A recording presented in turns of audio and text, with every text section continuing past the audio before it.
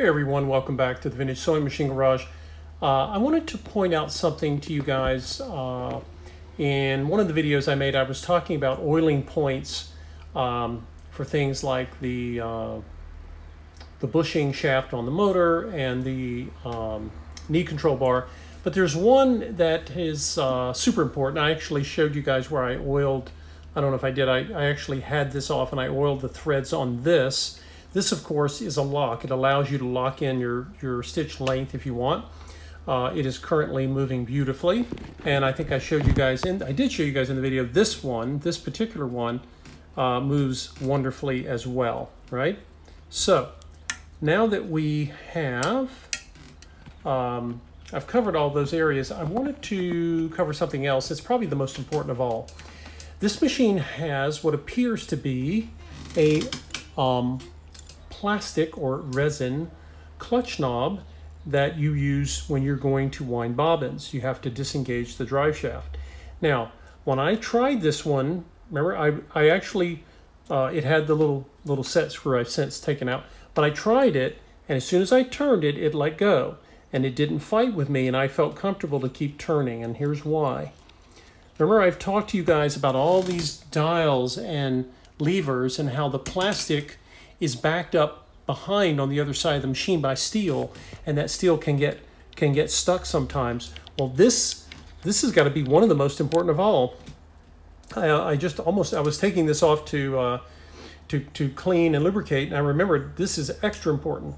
It's always important, even when you have a steel or a, or a chrome uh, or nickel plated steel knob, but it's even more so here because you'll see steel on the threaded end that actually attaches to the drive shaft, which is also steel, but notice that it's embedded in a plastic knob. What do you suppose happens if this knob is stuck and you force it? You will end up damaging and stripping the plastic off of the knob, and that will really make you're going to have a really bad day if that happens because then you're going to have to get another one or try to repair it. Remember, this is a piece Unlike some of the others I showed you, this piece is under stress when it's used. Now, what did I do? I came in and, well, there's several things, several ways you can do this. I'm just holding the camera here, guys. It's just easier for me to show you up close. You can put a couple of drops of oil on the threads themselves. You can also simply come in and put oil right here on the on the threads of the drive shaft, okay? So now and oh, by the way, you'll see that the little set screw for this also has its own, uh, it's like a, looks like a brass bushing with threads that allows the set screw to, to thread in. Same thing with the little set screw. Mine didn't fight with me this time, but sometimes they do. And you don't want to screw that up. This is an important part of the machine. Uh, I find that a lot of people who sew just get themselves a separate bobbin winding device instead of trying to, to set up bobbin winding on their machines, but it's up to you. Anyway, now that we have lubricated this, what does that mean? It means that the owner, when they go to use this, if they choose to wind bobbins, like with this, right, it's snug. You don't wrench this down like it was a lug nut on the wheel of a car. You notice I just turn it, and as it stops, I snug it. That's it.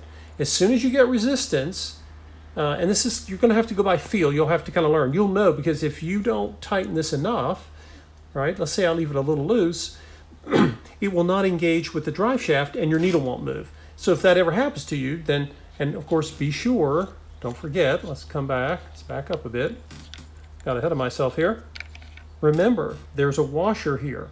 And this washer, by the way, has teeth. It has two teeth. And there, there, it goes in one way, guys, because the teeth angle out or up, right? Out towards you, right? If we look at the bottom, notice that they're they're this is going to show up in the light. They're actually not they're kind of angled down a little bit. Know if that shows right? That's the back side. So on the top side the tide you should be seeing it's kind of uh, the, the little teeth are, are angled up towards you and that's the side you want facing out.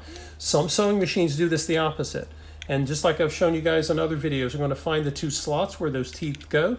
And this big washer seats just like that, right? And it should stay.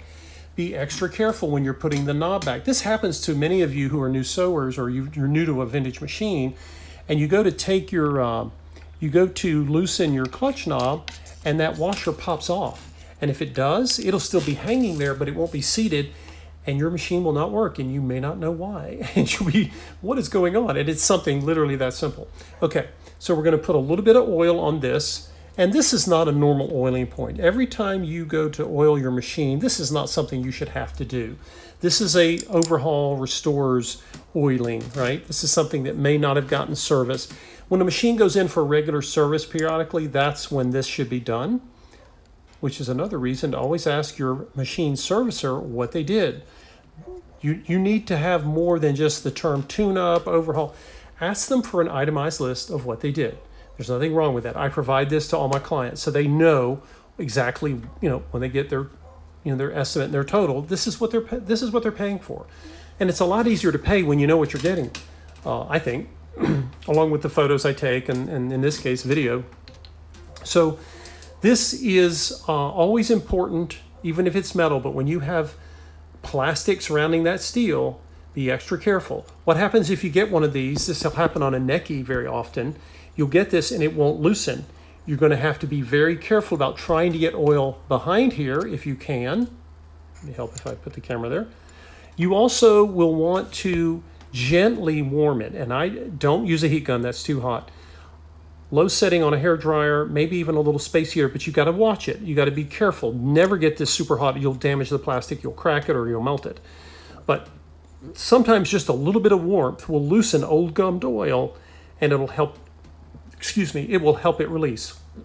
But again, this is really, you know, it's just like this, right? When I was showing you guys, remember I was showing you how, I think I showed you how I had to adjust this. And by the way, now when I turn this, when I turn this piece, notice that this piece here, did you guys see this move? Let me get my pointer and you can see it up close. This piece here actually moves. It slides in, in this housing. Let me get a better, better shot of this. This piece here slides inside of that. Okay, it retracts when it comes across the texture of this. Watch, you see that? That's how it's supposed to function. And it took a lot of work on my part to try to get this to move. It was stuck. Okay, it hadn't been moved in years you'll find that some areas of machines, the mechanisms, some are more vulnerable to getting frozen than others. I don't know if it's the tolerances, I don't know if it's the pressure of the springs or what. But anyway, that is now moving. It took a lot of coaxing. I think I did videos of that. Good gosh. Um,